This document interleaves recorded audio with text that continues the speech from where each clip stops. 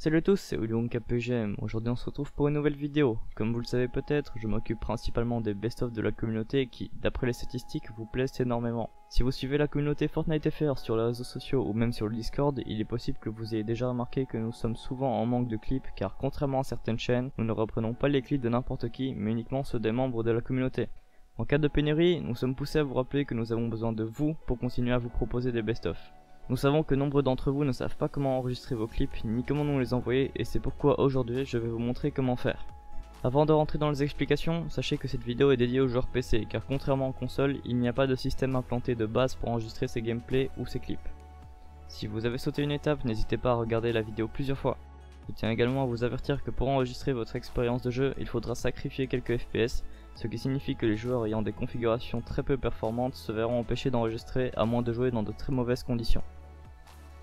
Pour commencer, je vais vous présenter le logiciel Shadowplay qui est disponible pour toutes les configurations ayant une carte graphique de la gamme GeForce. Pour commencer, rendez-vous sur la page Nvidia GeForce Experience et téléchargez le logiciel GeForce Experience. Une fois le téléchargement terminé, ouvrez l'exécuteur et installez GeForce Experience de façon classique.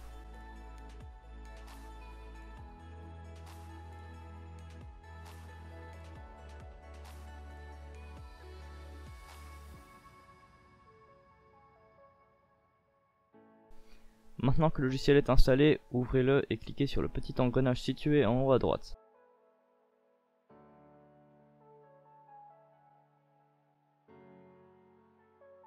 Arrivé dans le menu, activez l'option superposition au jeu si ce n'est pas déjà fait, puis cliquez sur paramètres.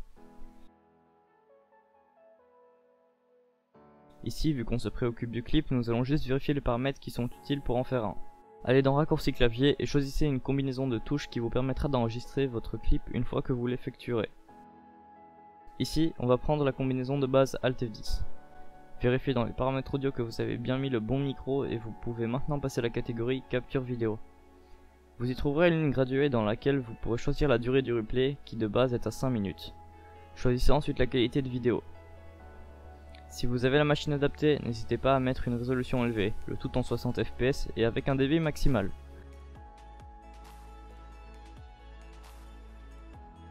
N'oubliez pas d'activer la fonction du replay instantané, sinon à moins de faire un tour de magie, il vous sera complètement impossible d'enregistrer. Maintenant que tout est configuré, rendez-vous en jeu et effectuez votre combinaison de touches lorsque vous avez effectué une belle action. Une fois le clip enregistré, rendez-vous dans la galerie et définissez un début et une fin à votre règle de 5 minutes afin d'en découper le passage le plus important.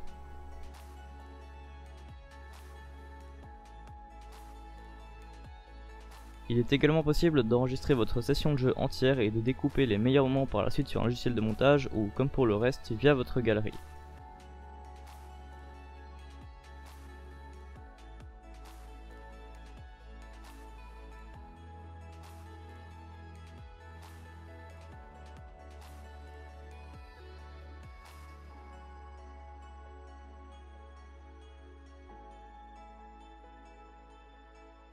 Maintenant que tout est fait, vous pouvez soit publier votre clip sur YouTube de façon classique ou en vous connectant sur votre compte via le logiciel même et le tout rejouer.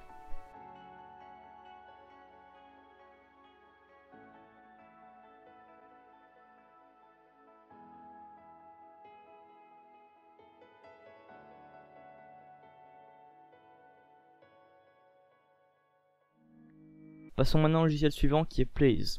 Blaze est un logiciel similaire à Shadowplay, sauf qu'il est disponible sur toutes les configurations car il ne dépend pas d'un constructeur de composants. Pour pouvoir l'utiliser, même procédure que Shadowplay. Rendez-vous sur le site de Blaze puis téléchargez-le.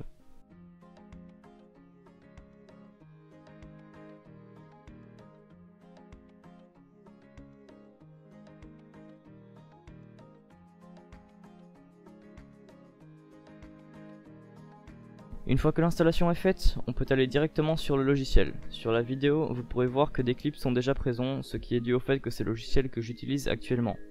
Une fois le logiciel ouvert, rendez-vous directement dans les paramètres afin de régler vos touches qui déclencheront l'enregistrement. Ici, on mettra aussi les mêmes touches qu'avec Shadowplay afin de ne pas trop s'embrouiller. Une des particularités de Plays, c'est que vous pouvez faire en sorte qu'il enregistre automatiquement votre session de jeu dès que le jeu en question est lancé. Vous pouvez également faire en sorte que c'est vous qui décidez quand l'enregistrement se lance et s'arrête. Maintenant, il ne faut pas se tromper. La catégorie importante est Save Clip et non Instant Triplé, car si vous faites un Instant Triplé, vous aurez droit à voir votre clip s'afficher en plein milieu de votre écran, ce qui n'est pas le top si vous jouez en même temps.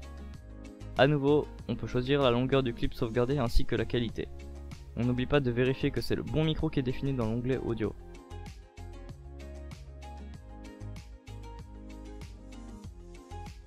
On vérifie aussi que le chemin d'accès de vidéo enregistrée est celui désiré car on en aura besoin pour plus tard. Maintenant que tout est configuré, on joue jusqu'à ce qu'on fasse un beau move et on enregistre.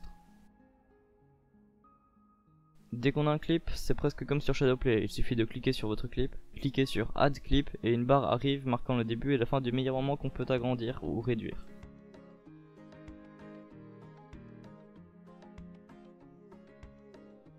Une fois le moment déterminé, on clique sur Save. Pour upload votre clip sur YouTube, contrairement à Shadowplay, il faudra l'upload en retrouvant votre clip dans votre explorateur de fichiers et l'upload manuellement sur YouTube. Si vous voulez juste l'upload sur Place on peut le faire via le logiciel. On arrive à la fin de la présentation de ce logiciel, passons au dernier qui est le fameux OBS plus connu pour le stream mais qui, comme très peu de gens le savent, possède également une fonction pour enregistrer en arrière. La principale qualité d'OBS c'est que vous pouvez enregistrer votre clip tout en ayant une autre scène superposée avec votre gameplay comme par exemple un overlay, votre cam ou encore bien d'autres selon votre imagination. Pour commencer, comme toujours, on télécharge et on installe le tout de façon basique. Une fois que tout est prêt et qu'OBS est ouvert, on va directement rajouter une scène dans laquelle on va rajouter une source en faisant une capture de jeu. Ici, je ne vais vous présenter que ça car je vous rappelle que le sujet principal de la vidéo est en rapport avec les clips et non avec la personnalisation d'OBS. Une fois que la source est créée, on fait en sorte que ce soit bel et bien Fortnite qui soit capturé et on force la mise à l'échelle si le jeu doit être redimensionné en 16 neuvième. Pour ce qui concerne l'optimisation d'OBS, que ce soit l'image ou l'audio, rendez-vous en description où se trouve une vidéo complète qui vous explique comment paramétrer OBS correctement. C'est un inconvénient comme un avantage. Sur OBS, il faut tout configurer soi-même, ce qui prend un peu de temps, mais en revanche, tout vous conviendra. Pour activer l'option replay, direction les paramètres et ensuite dans l'onglet sortie, cochez la case activer le temps de lecture et choisissez le temps passé en secondes qui sera enregistré une fois la combinaison de touches effectuée. Définissez également la mémoire maximum que OBS pourra utiliser afin d'éviter une surconsommation de la mémoire. Il ne reste plus qu'à finaliser la fonction en se rendant dans l'onglet raccourci clavier et en définissant une combinaison de touches dans la catégorie tampon de relecture ou replay buffer. Attention, quand OBS sera lancé, il ne faudra surtout pas oublier de cliquer sur démarrer le tampon de relecture qui s'affiche sur la page principale car sans cela, il vous sera impossible de récupérer vos clips. Comme tous les autres logiciels, OBS permet également d'enregistrer de façon classique en démarrant et en arrêtant l'enregistrement manuellement. Le petit bémol d'Open Broadcaster Software de son nom complet, c'est qu'il est impossible de découper vos gameplays via le logiciel en question, ce qui veut dire qu'il est nécessaire d'utiliser un logiciel tiers pour découper votre vidéo. Nous arrivons à la fin de la partie concernant les records. Maintenant que vous avez vos meilleurs moments enregistrés, mettez-les en ligne sur YouTube. Notez que si la confidentialité de la vidéo est définie sur privé, nous ne pourrons pas y accéder. Une fois que le tout est upload, cliquez sur le lien disponible dans toutes les descriptions des vidéos de la chaîne qui vous redirigera vers un formulaire à remplir pour tenter de voir votre clip passer dans les best-of de la communauté avec en prime le lien de votre chaîne Twitch ou YouTube dans la description. J'en profite également pour vous rappeler quelques règles. Votre clip doit durer entre 5 secondes et une minute, la qualité de celui-ci doit être égale ou supérieure à de la 720p, aucune musique et aucun montage ne peuvent être présents même si la musique est libre de droit. Évitez également de nous envoyer un clip basique, comme par exemple un double kill simple à l'air sur deux joueurs statiques. Vous devez être l'auteur de ce que vous nous envoyez et enfin, en nous envoyant un clip, vous nous en donnez libre utilisation et nous autorisez à l'utiliser dans des vidéos éventuellement monétisées. Nous arrivons à la fin de la vidéo, j'espère avoir été assez complet et compréhensible pour tout le monde car je ne m'occupe jamais de ce genre de vidéo. N'hésitez pas à me faire part de vos avis dans les commentaires, j'y recevrai avec grand plaisir les appréciations et les critiques constructives. N'hésitez pas à liker la vidéo si vous l'avez appréciée ou s'il vous a été utile. Vous pouvez également la partager afin que tout le monde sache enfin comment enregistrer ses meilleurs moments. Si vous avez la moindre question, n'hésitez pas à la poser dans l'espace commentaire de cette vidéo et je ferai mon possible pour vous répondre le plus complètement possible et le tout dans les plus brefs délais. N'oubliez pas non plus de liker notre page Facebook, de vous abonner à la chaîne Twitch et YouTube et d'activer les notifications, de nous follow sur Twitter et retrouvez-nous également sur Instagram et Snapchat.